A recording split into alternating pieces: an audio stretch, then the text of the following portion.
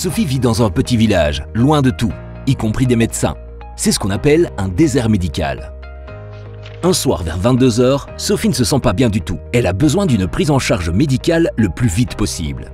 Puisqu'il est tard, elle doit composer le 15 pour entrer en contact avec un médecin régulateur. C'est ce qu'on appelle la permanence des soins ambulatoires.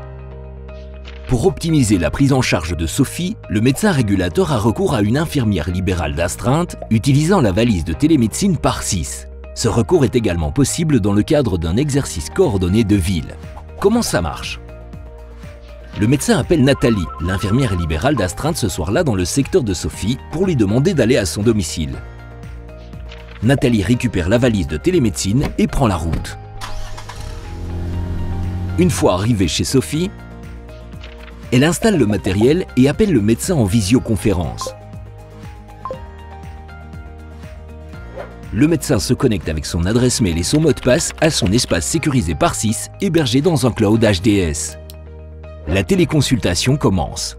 Grâce au matériel très complet et à la formation qu'a reçue Nathalie, le médecin peut réaliser de nombreux examens à distance, comme une auscultation cardiaque et pulmonaire grâce à un stéthoscope connecté, une observation à l'aide d'une caméra mobile, un électrocardiogramme ou même un examen sanguin avec la station de biologie embarquée.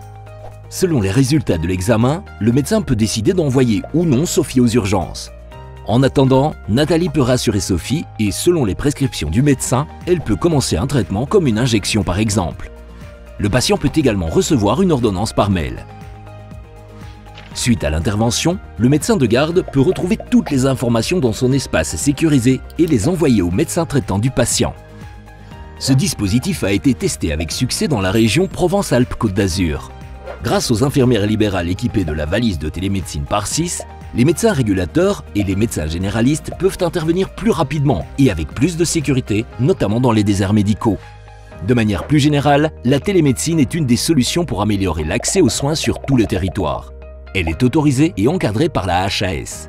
Le médecin peut la réaliser avec un simple accès à Internet.